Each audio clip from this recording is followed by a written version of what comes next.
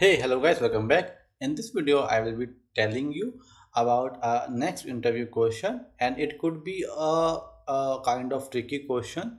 Okay, so the question saying that how to combine many lists to form a PySpark data frame. So you can see that you know I got this question from a LinkedIn post first of all, right? So the question saying that we have name, age, city. So we have all these you know kind of list available right? And we need to you know create a data frame. Likewise you know we have like this name as a different uh, you know we have like this name as a uh, we can say a column.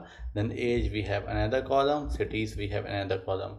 Okay so likewise you know we have to do it. So how we can actually you know create a data frame? So now currently we are having kind of three data three lists so maybe tomorrow we are having uh, you know 10 10 lists then you will be not you know making a frame manually right? So we need to have kind of functions or you know we need to do something so that we will create a data frame easily. Okay so let's see how we can do that. Right so what we can do we can go over here and we can use here combined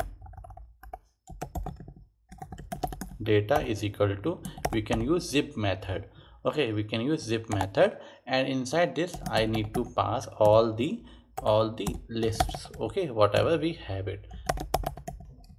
Correct. Now what we will be doing? We will be creating a schema. So i will be creating a schema. How we can create a schema? You know struct type and then struct field. And then what we have? We have not like this I should go like this. Okay so name and then string type. And if if I want to make it false then I can make it false or true you know whatever it is. Okay. This is the first one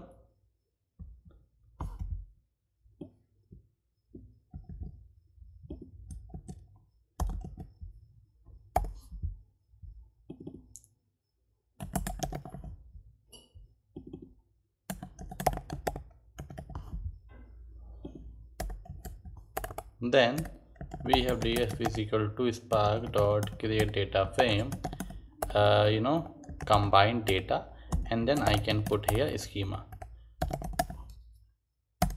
Right and i'll just quickly do here display of df